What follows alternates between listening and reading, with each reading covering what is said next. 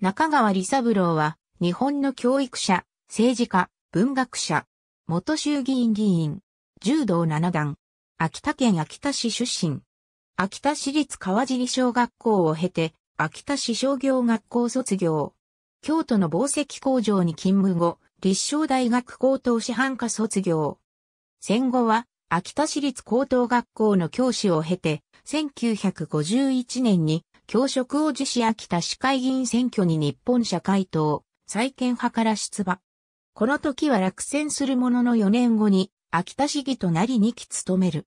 初出馬の際に推薦されたことから共産党との縁ができ、市議在任中の1961年12月に日本共産党に入党。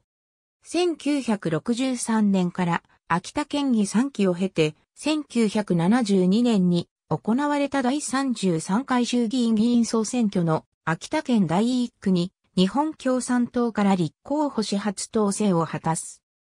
その後、1976年に落選、79年に当選、80年に落選、83年に当選、86年に落選、90年に落選と計3回当選。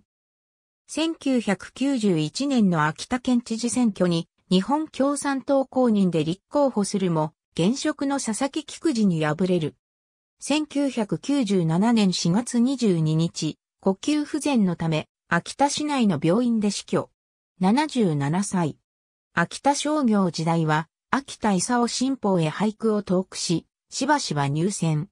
拓殖大学教授、大谷明の圧旋で、1942年に句集、日は、未だ白からずを出版。口述のように、捕虜時代にも文学活動を行う。戦後も俳句、短歌、詩、小説、エッセイなど幅広いジャンルで作品を残す。詩詩、諸女地帯、民主文学、秋田民主文学等に執筆。秋田商業、立正大学では柔道選手として活躍。大学時代は牛島達熊、大谷明文科生として、木村正彦らと同じ屋根の下で帰居し切磋琢磨した。1942年出生。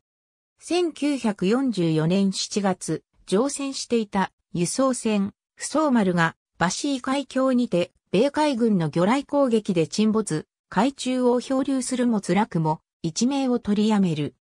1945年5月15日、フィリピンネグロス島における戦闘で身に数発の銃弾を受ける。腕の負傷は柔道界での活躍を断念させる。レーテ島タクロバン郊外、パロ収容所では文芸部のリーダーを務める。